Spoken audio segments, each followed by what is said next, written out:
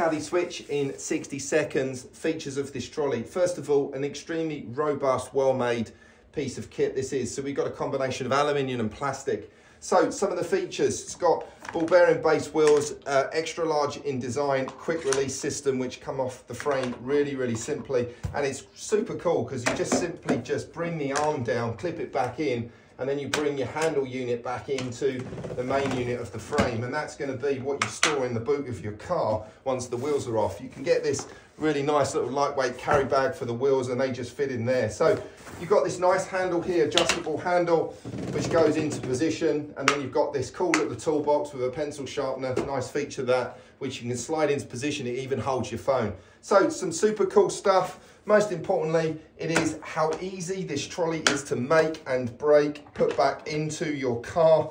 And then once it's there, simply push or pull.